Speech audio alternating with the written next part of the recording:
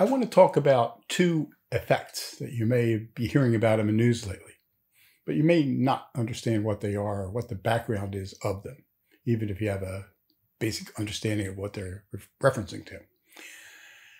These are the uh, Bradley effect and the Streisand effect. And let me start first with the Bradley effect.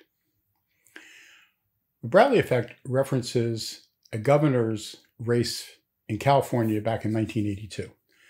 Tom Bradley, former mayor of Los Angeles, an African American, the first African American mayor of Los Angeles, maybe the last African American mayor of Los Angeles, I'm not quite sure, was running for governor of California. His opponent was George Deukmejian, a white a person of uh, Armenian heritage who was a Republican. And they were in this relatively tight race. Somewhere along the line, someone or some group inside the Bradley campaign decided to make race an issue. And they did that by sort of hinting that if you weren't supporting Tom Bradley, who was black, and you were supporting George Duke Deukmejian, who was white, it might be because of racism. So they ejected that, injected that, excuse me, into the debate. And Tom Bradley was ahead in the polls. Not only was Tom Bradley ahead in the polls going into the election, on election day, as people came out after they had voted and they did the exit polling, Tom Bradley won the exit polls. So the media was all ready to report that Tom Bradley was going to be the next governor of California. Of course, they can't do that until the polls close. Lo and behold, when the polls close and the votes start coming in, guess what? Tom Bradley didn't win. George Deukmejian won. And that's the birth of the Bradley effect. And the basic idea is now different people interpret it a little one way or the other. But uh, the way I interpret it is when you inject race into a political contest, because people don't want to think of themselves or have other people think of them as racists, they'll lie to the pollsters. In the Bradley case, they actually lied to the ex- exit pollsters. So what that means is when you have make race an issue in a campaign, the polls will probably be off and will probably reflect that by over polling support for one given candidate. Now, if you apply that to uh, 2016 and 2020, where the Democrats inject constantly race into the issue, you know, if you support Donald Trump, you're a racist. I mean, I had a friend I had known in, in early 2017. I had known him since we were 13. I was, uh, what was I? I was 64, 65 at the time. This is a guy known for a half century, more than a half century. And when he found out I voted for Trump, he called me a racist and defriended me on Facebook. That's what we're talking about here. So people don't want other people to think of them as racist, so they lie to the pollsters. So when you look at the polls today, and certainly race has been injected into this race, election race, and especially when you've got, you know, uh, Kamala Harris on the ticket, who is a woman of color, the question is how accurate will the polls be? And if you look at the Bradley effect, you could expect that the Biden ticket will overpoll. And some of the people telling the pollsters that they're going to support Biden are really going to support Donald Trump. The question is, how many of them are there? And how do you figure that into your poll? And they really don't know how to do that. But as soon as you see race get injected into a poll, a political poll, you know you should assume that the poll itself is inaccurate by some degree. You don't know how much it is. We won't know until it's all over. And even then, you won't know because people may even lie to the exit pollsters. So that's the Bradley effect, simply put. And I do think it's playing a role. We don't know how big a role. But imagine, you know, imagine if you're an African American on election day and you come out of a polling booth and you just voted for Donald Trump for whatever reason. And the guy says to you, Who'd you vote for? Biden or Trump? And there are people around. You're going to say, Yeah, I voted for Donald Trump. Or are you're going to say, uh, I, I, Of course, I'm black. I voted for Joe Biden. So we, you can expect that there's the polls are off, basically because of the Bradley effect. And that's the reference. And if somebody's not referencing the Bradley effect with regard to the polls, then you ought to know about it when you look at the polls because you know there's that effect in there somewhere. Maybe it's 1%, maybe it's 5%, who knows? I think in the Deukmejian case, it was, it was something like 4 or 5%. It was, it was pretty large. But that's the Bradley effect. I'm going to talk about now about the Streisand effect. And then in the next section of this video, if you stick with me, I'll explain why it's important for what's happening today and how I think American journalists may have cost the Democrats the election. But that, that's going to come next.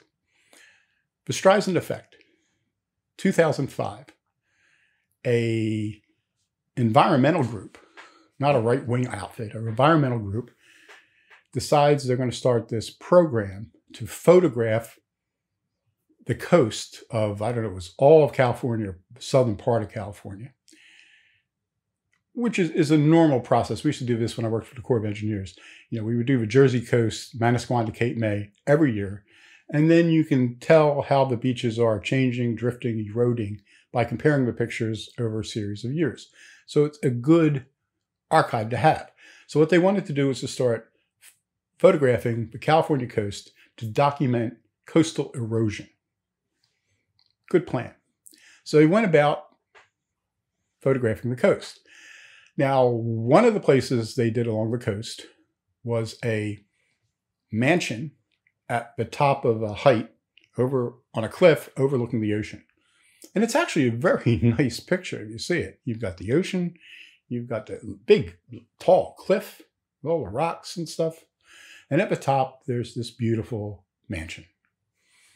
Now, the photograph, which was put online in their database, it didn't identify the house or any of the houses. They just had numbers. I don't remember what the number of this was. Like it was a four-digit number, four, 4640 or something like that. So you had four, photograph 4640, and you could download it.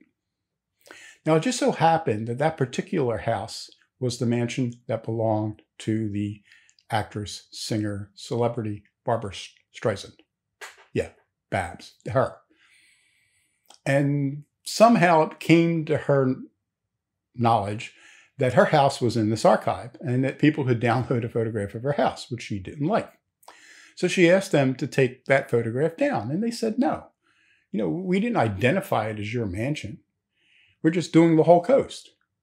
We're out on the ocean. You know, we're not trespassing on your land.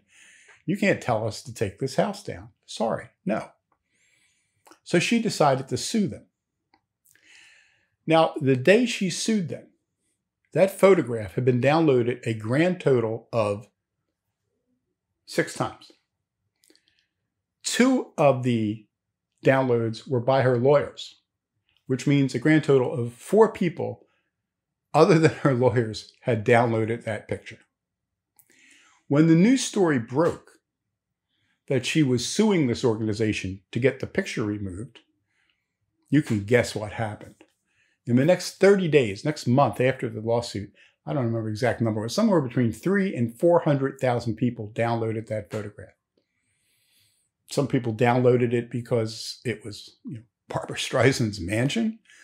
Some people downloaded it, maybe they liked the photograph. It is a nice photograph. And if you go to Wikipedia and type in Streisand effect and search for it, when it comes up, that photograph's right at the top. So there is Barbra Streisand's mansion, the photograph of it that she tried to get killed on Wikipedia. And it's the first thing you see when you type in Streisand effect. Or if you go to her biography, the Streisand effect thing will come up. You click on that, you there, bang, there's the photograph again. So God knows millions, tens of millions, maybe I don't know how many millions of people have downloaded and seen that photograph. That's the Streisand effect. You try to kill something, you try to suppress something, and you actually bring attention to it. So rather than preventing people from seeing or getting hold of a photograph of her mansion, she actually, through her actions, besides the fact that she lost money in the suit, uh, actually caused more attention to that photograph than ever would have happened if she had just kept her mouth shut and not brought attention to it. Like I said, it wasn't listed as Barbra Streisand's mansion. It was just, you know, picture uh, 4621, 4640, 4660, whatever hell it was. I don't remember what the number was. I'm pretty sure it was a four digit number. Streisand effect. And of course, that's a, relevant today because of what we see with the story about Joe Biden, Hunter Biden, and things that went on in the Ukraine and China, and as they were published by the New York Post. The New York Post published their story several days ago. Right away, social media tried to squash it. Twitter, Facebook, boom. I mean, I tried to share it, the story from to Twitter, didn't work. Same with Facebook. Facebook has since stopped blocking, but not Twitter. This morning, before I uh, shot this video, I tried to repost from New York Post and it wouldn't let me. Now, what I could do was just take a block quote out, copy and paste, and punch it as enough that would fit into a Twitter feed and punch it into Twitter, and that went up. The other odd thing about Twitter is, and this gets back to the whole Streisand effect thing, they've only drawn more attention to the story, I think. If they think that this is going to help Joe Biden and the Democrats, I think, you know, they should know better. Because they're not blocking everything. It's, it's, it's almost as if it's like a picture, you've got a 12 lane superhighway and Twitter decides to erect a toll booth on one lane, but the other lanes are still free. I mean, I can't repost something from a New York Post, but a similar story from Fox News goes through. Uh, the other day was a story from USA Today about efforts to block the story. That went through uh, British newspapers who've been covering the story, they go through. So they only seem to be focusing on the New York Post. I didn't have the New York Post app on my current Android phone. I had it on my old Apple phone, but I switched April 1st, actually, this year. And I, you know, had so many apps. I had over 200 apps on my iPhone.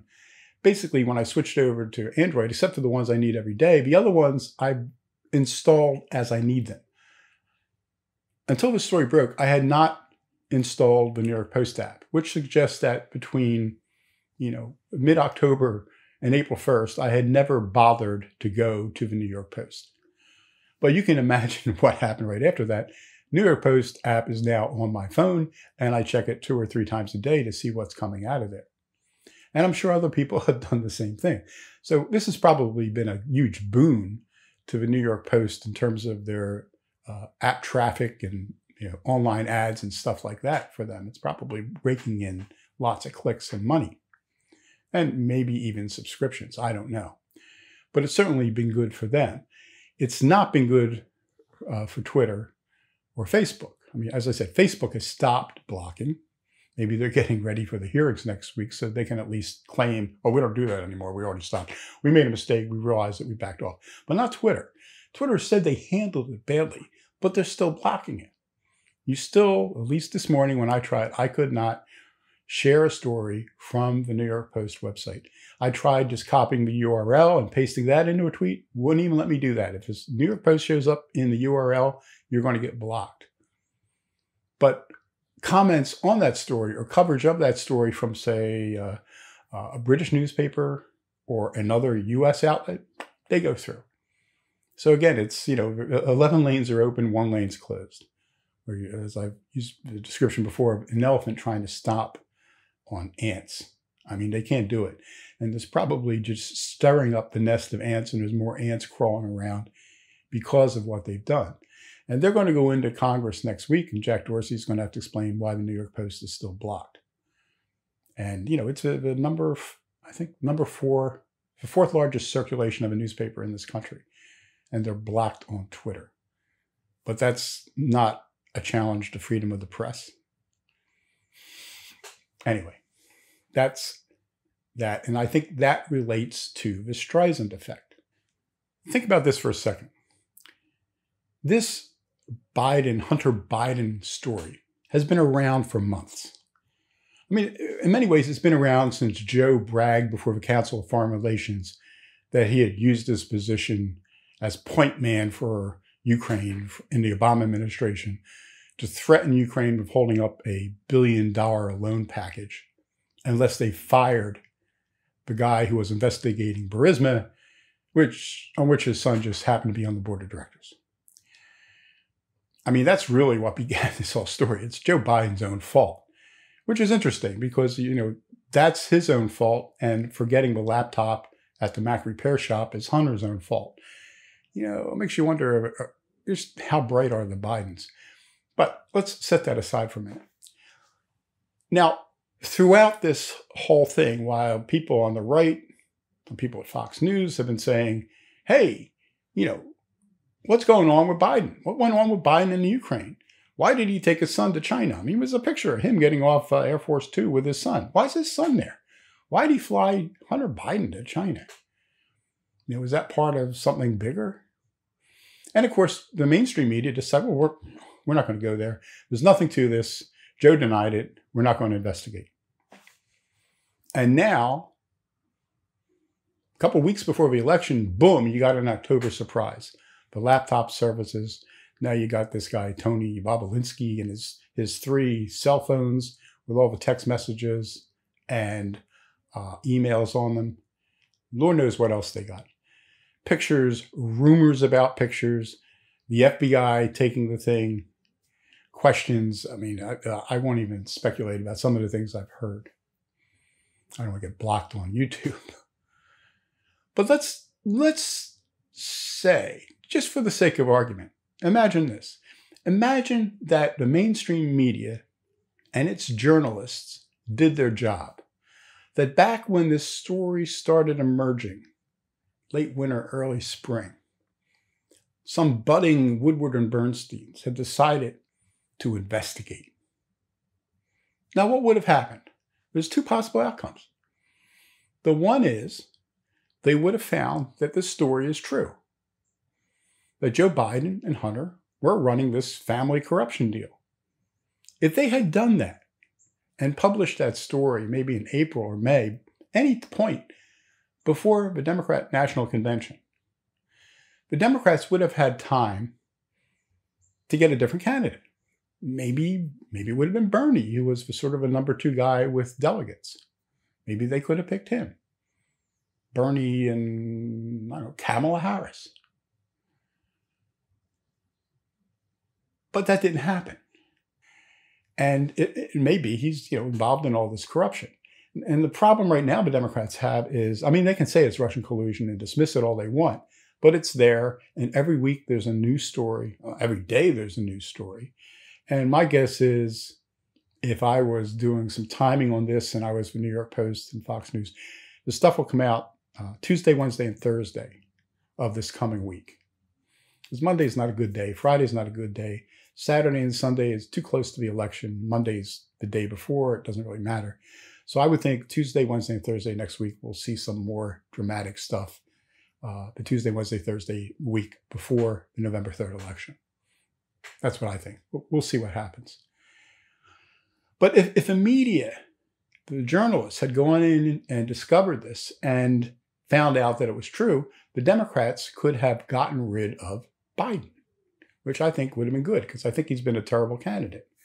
You know, sitting in his basement doing not much of anything, going out, you know, with his mask and making gaffes. And, you know, the other night, what did he say to Trump? Uh, I never said I was going to end fracking or fossil fuel.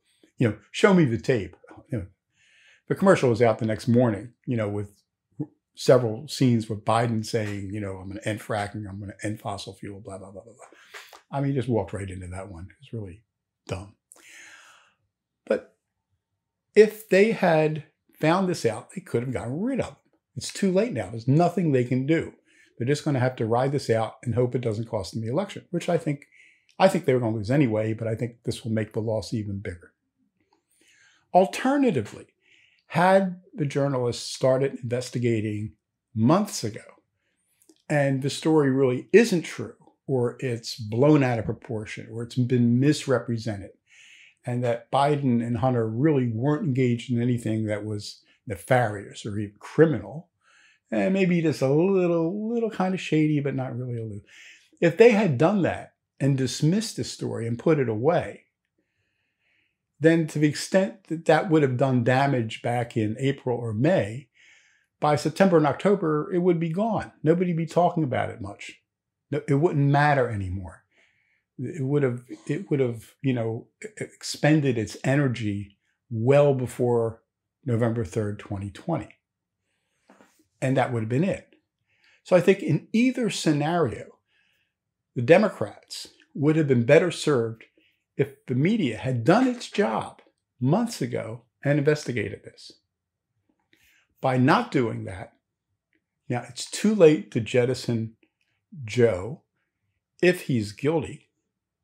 And if he's not guilty, it's too late to fully clear him. Both of those results are bad for Joe Biden and good for Donald Trump. And in that sense, they're good for the Republicans and bad for the Democrats. So I think it's ironic, but I would argue that the mainstream media's powerful effort to suppress this story and to not even cover it, which has gone on for months now, you could even argue almost a year, actually worked to Donald Trump's advantage. I know they thought they were doing the Democrats a favor. I know they thought they were, you know, in terms of, you know, tilting the scale in favor of Joe Biden. But they may actually be tilting the scale in favor of Donald Trump. And, and, you know, we'll see what happens. We've got another week and a half to go. But I think that's very conceivable. You know, sometimes you try to help somebody and you actually end up hurting them. And I think that's the problem that the media is doing. They think they're helping the Democrats. They think they were helping Joe Biden when they refused to cover this story, when they in, refused to investigate the allegations about Hunter and Burisma and Ukraine. But it may turn out that the help they thought they were giving Joe Biden and the Democrats actually will cost Joe Biden and the Democrats the election, and that the person they were actually helping, unbeknownst to them, was Donald J. Trump, who's going to be reelected. That's my take. What do you think? Leave a comment. Give it a thumbs up. You don't like it, give it a thumbs down. Subscribe to the channel. Hit the notification button so you know when I post new videos. Share the video with your friends. And until the next time, stand tall, stand firm, and keep fighting.